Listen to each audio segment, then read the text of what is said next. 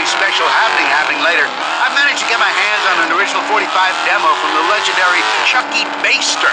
Now, Chuck Baster, as I'm sure all my listeners know, released two instantly classic LPs before succumbing to paranoia and locking himself in a shack at Badlands.